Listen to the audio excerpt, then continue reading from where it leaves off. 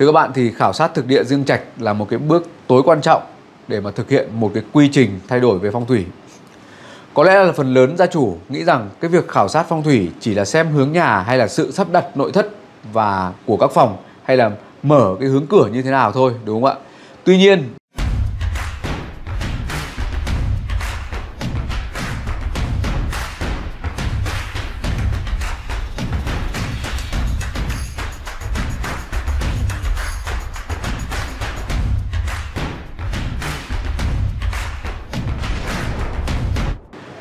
Vâng, xin chào các bạn, tôi là Phùng Phương, chuyên gia phong thủy của Hiệp hội Phong thủy Thế giới và là chủ tịch của công ty cổ phần thiết kế phong thủy Phùng Gia.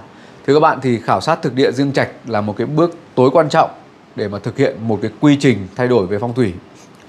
Có lẽ là phần lớn gia chủ nghĩ rằng cái việc khảo sát phong thủy chỉ là xem hướng nhà hay là sự sắp đặt nội thất và của các phòng hay là mở cái hướng cửa như thế nào thôi, đúng không ạ? Tuy nhiên, những công việc đó ấy, nó mới chỉ là 10 đến 20% thôi những cái công việc khác nó sẽ chiếm khối lượng và sự ảnh hưởng của nó lớn hơn rất nhiều những yếu tố còn lại. Vậy thì cái quy trình khảo sát của một à, cái công trình phong thủy như thế nào? Chúng ta hãy cùng xem trong cái video này để chúng ta có thể uh, biết được rằng cái căn nhà của chúng ta đã được khảo sát đúng hay là chưa.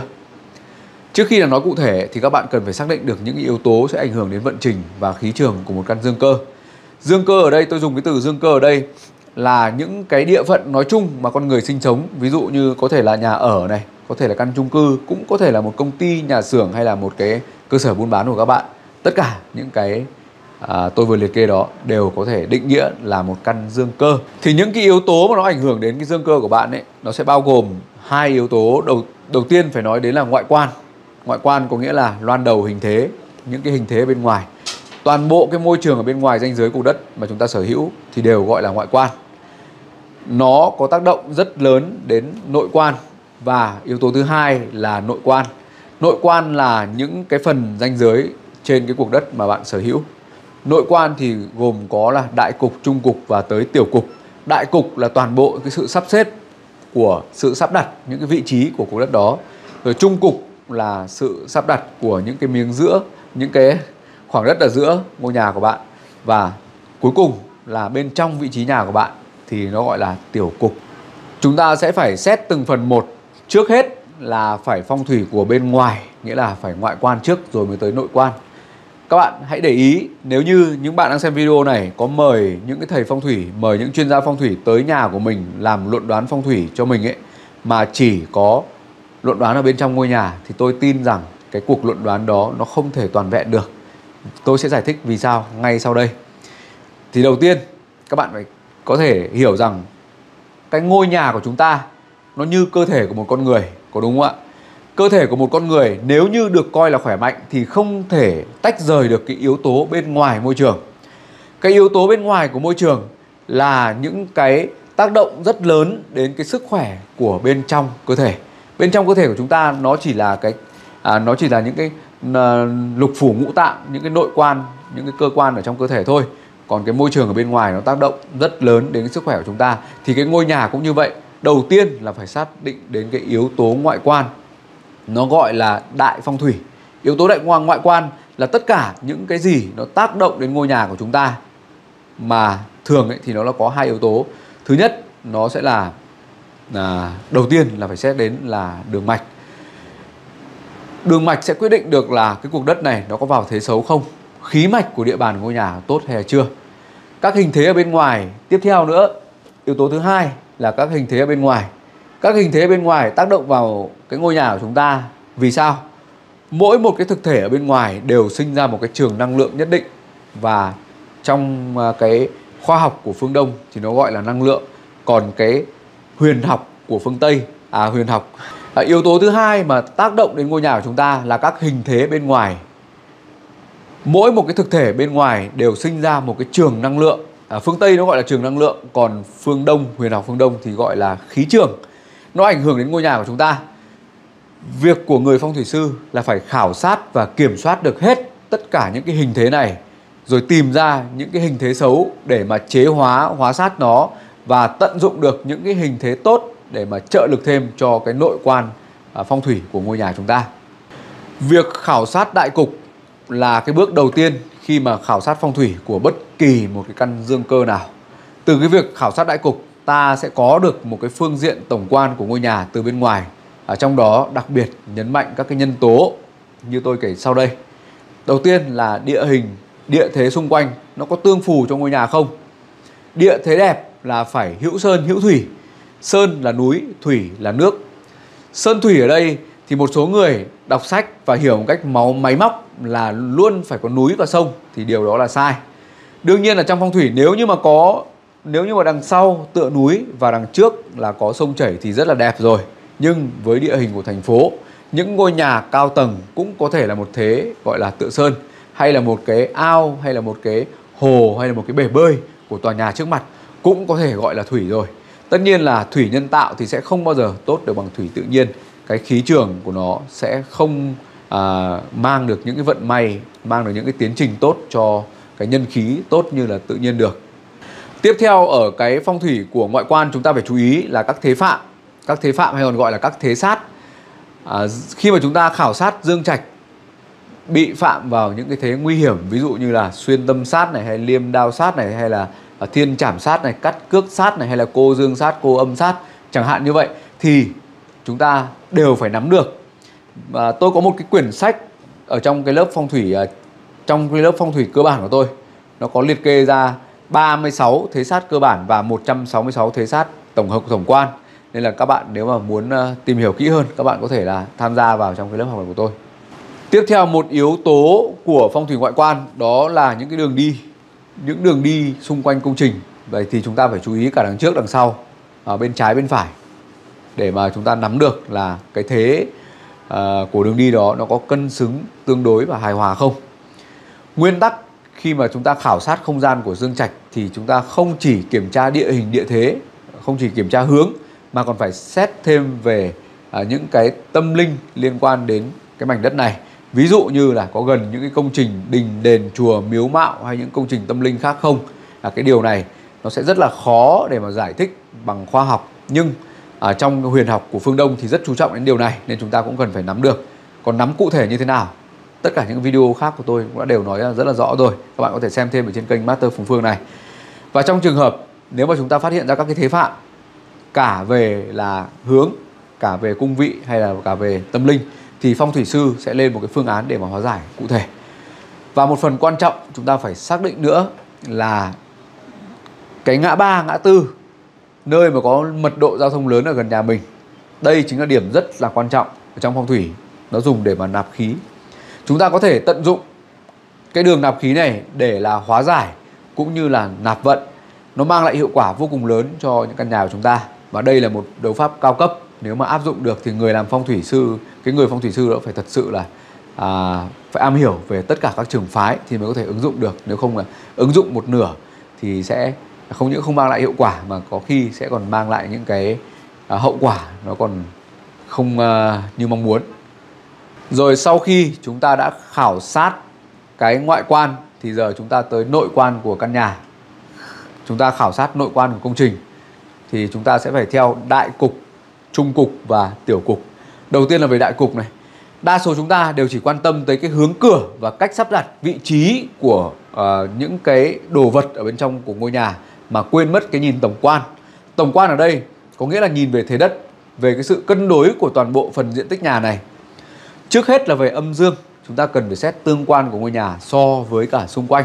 Một thế đất đẹp ấy thì phải đảm bảo được các cái tiêu chí là đằng sau cao hơn đằng trước và bên à, phải thì nó phải thấp hơn ở bên trái. Hướng ở đây thì chúng ta tính là hướng nhìn của ngôi nhà chứ không phải là hướng của chúng ta nhìn ở ngoài mặt tiền vào nhé nó phải tính theo cái hướng nhìn của ngôi nhà.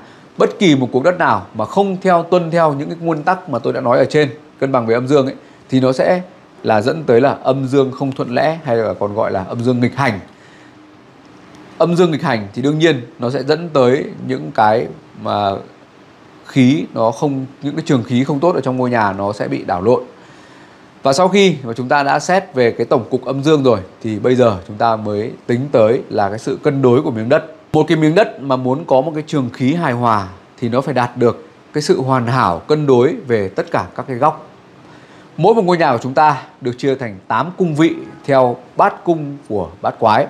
Mỗi một cung sẽ là một vị trí trong căn nhà của chúng ta. Nếu có một phần nào đó mà mất đi, nó sẽ làm cho tất cả những cái điều liên quan đến cung vị này sẽ bị suy thoái và sẽ dẫn tới là thoái vận hay là dẫn đến những cái tai ương cho gia chủ nếu mà khảo sát thấy căn nhà của bạn bị khuyết một cái góc bất kỳ, thì cái người phong thủy sư sẽ phải lên cái phương án để mà hóa giải cái góc khuyết đó. Khi có được tất cả các yếu tố này rồi, thì chúng ta mới có xét tới các cái phần yếu tố bên trong của ngôi nhà. Nếu các bạn thấy bất kỳ một cái quy trình luận đoán nào mà bỏ qua hai cái bước khảo sát ngoại quan và trung cục như tôi đã nói ở trên, mà bước luôn vào luận đoán vị trí ngôi nhà ở bên trong là sắp đặt như thế nào, thì đó là một cái cuộc khảo sát không toàn diện các bạn nhé.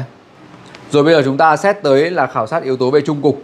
Chúng ta hiểu trung cục ở đây nó gồm có cổng chính, cổng phụ, mái hiên hoặc là những cái cảnh quan sân vườn, tường rào cũng như là các cái công trình khác nó xung quanh cái cuộc đất của chúng ta.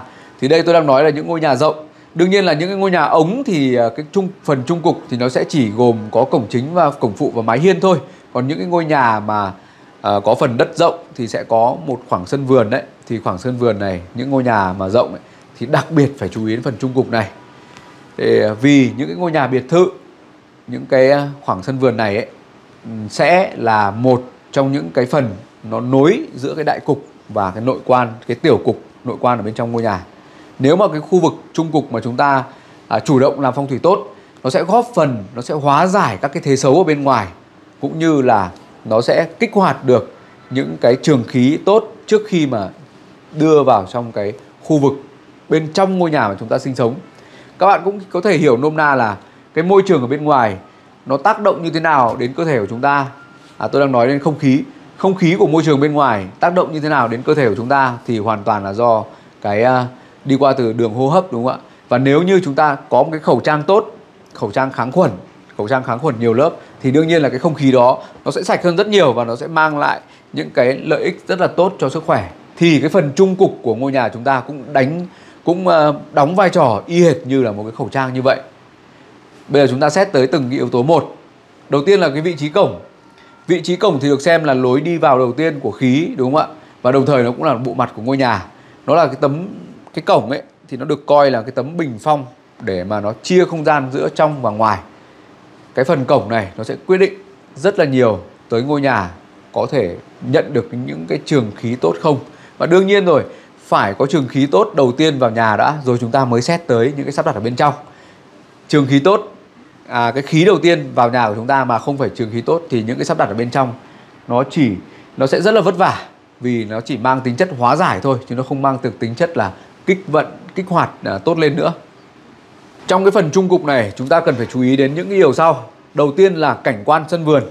Cảnh quan sân vườn có nghĩa là gồm có cả bể bơi này, cây cối này, rồi là những cái đá này, hòn non bộ này, các bạn rất những cái ngôi nhà lớn rất hay trang trí, đúng không? Phải đặt đúng cung vị của nó. Chỉ cần một cái bể bơi đặt sai cung vị là sẽ phá hỏng hoàn toàn cái cách cục, phong thủy, trường khí của toàn bộ ngôi nhà. Và tiếp theo là chúng ta chú ý tới những cái chướng ngại nó bất lợi cho ngôi nhà và nó mang ra những cái, nó mang những cái trường khí xấu, nó sẽ phạm thế sát như thế nào.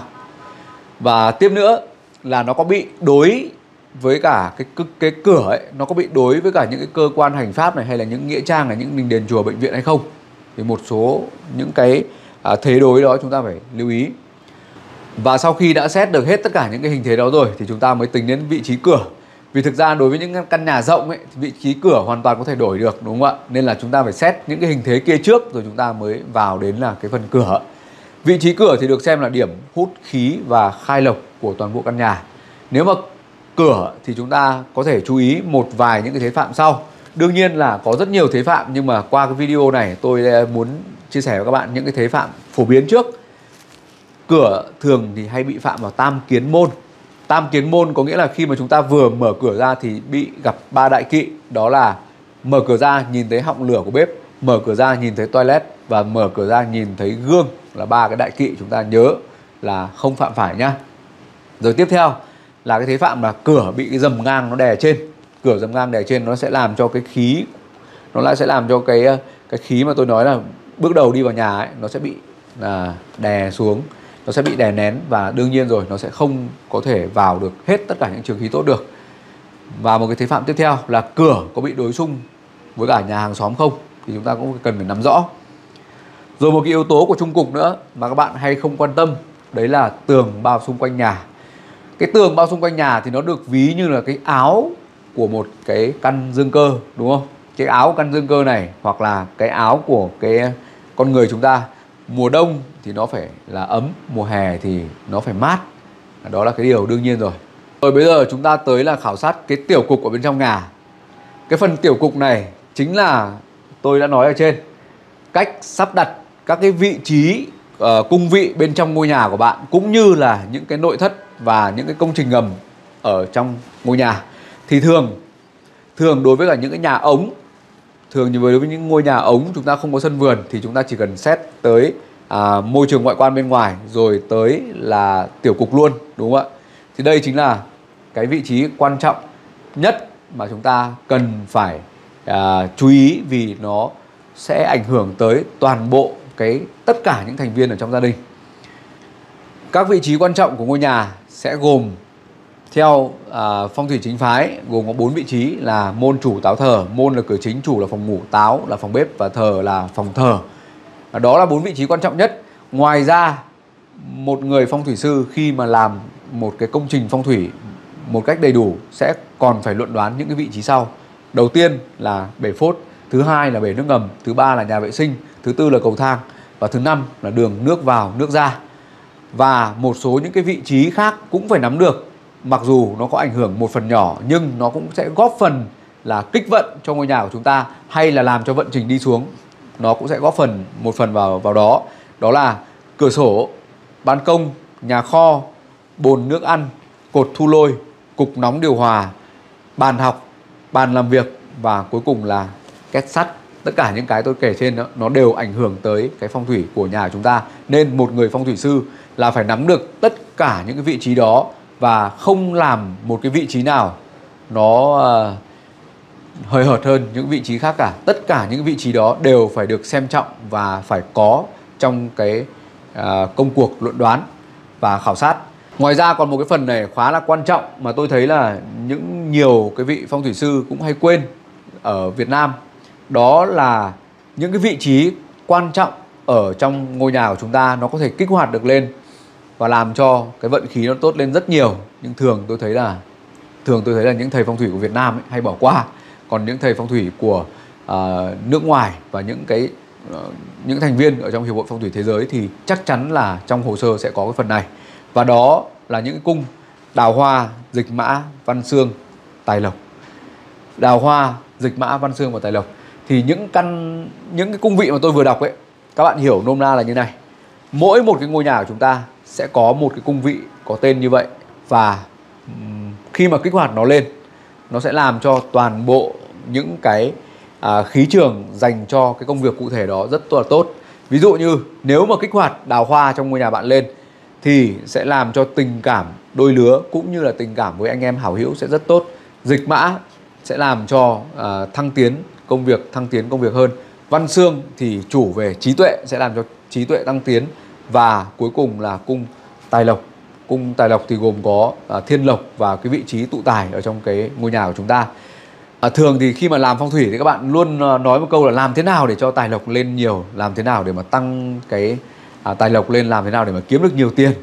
Thế nhưng mà tôi nói các bạn rằng trong tất cả những cái cuộc tư vấn phong thủy trên thế giới thì kích hoạt tài lộc là một phần thu phí thấp nhất. Về phong thủy chữa bệnh và phong thủy cầu tự và phong thủy thăng chức thăng quan tiến chức mới là những cái uh, ca tư vấn phong thủy mà phải tốn công sức nhiều nhất cũng như là thu phí cao nhất.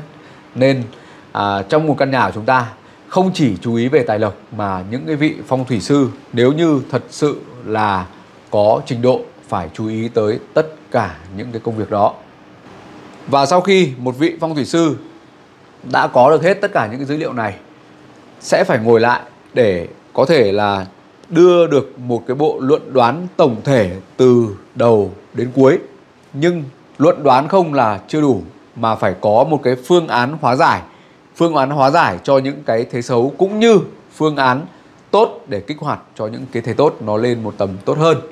Thì thông thường trên cơ sở mà thống nhất với gia chủ rồi cái lộ trình phương án sẽ được thực hiện như sau đó là cũng là cái quy trình mà phong thủy phùng gia khuyên khách hàng nên thực hiện. Đầu tiên là chúng ta sắp đặt lại và thay đổi lại các cái vị trí những cái điểm phạm liên quan tới cái hạng mục nằm ở ngoại quan, đại cục, trung cục, tiểu cục đã được đề cập ở trên. Và tiếp theo là tới cơi nới sửa chữa các hạng mục dựa trên là năm tháng ngày giờ đẹp để mà nhằm đạt được cái sự mà tối ưu cũng như là lý tưởng hơn về phong thủy. Và tiếp nữa là chúng ta có thể kết hợp các cái vật phẩm phong thủy cho ngôi nhà và hợp với gia chủ để mà kích hoạt hóa giải các thế phạm liên quan đến à, những cái à, luận đoán mà đã quy định ở trên. Thì tất cả những cái quy trình mà tôi đã nói ở trên đã được quy chuẩn hóa. Vì vậy nên là cái công việc khảo sát ấy thì không nhất thiết là phải thực hiện bởi người phong thủy sư mà có thể được thực hiện ngay thậm chí cả online qua những cái quy trình các bạn gửi video, gửi video như nào, gửi định vị như thế nào thì thời buổi hiện đại các cái phương tiện đã rất là hiện đại rồi, chỉ cần là thực hiện đúng theo quy trình quy chuẩn đó thì gần như là tôi đã có thể nắm được những cái thông tin ở trên ngôi nhà của bạn. Và cũng chính vì vậy nên là Phùng Gia chủ của chúng tôi đã thực hiện được rất là nhiều công trình à, không chỉ ở Việt Nam mà còn trên thế giới. Các bạn có thể vào website để cập nhật những cái dự án cũng như những công trình mà tôi đã thực hiện cho những người Việt kiều của mình tại à, Úc, Canada, Mỹ, Hồng Kông, Singapore, Thái Lan, Nhật Bản, Hàn Quốc, Malaysia và thậm chí các nước bạn láng giềng Campuchia cũng có. Và ở trên thì tôi vừa mới à, tư vấn cho các bạn về một cái quy trình phong thủy sẽ phải khảo sát như thế nào. Nếu như các bạn có thắc mắc hay là có câu hỏi nào đó à, muốn được trợ giúp thì các bạn hãy liên hệ với cả đội ngũ trợ lý của tôi qua số hotline ở trên màn hình và đội ngũ trợ lý sẽ chuyển câu hỏi tới tôi và tôi sẽ sắp xếp thời gian để hồi đáp các bạn nhanh nhất có thể.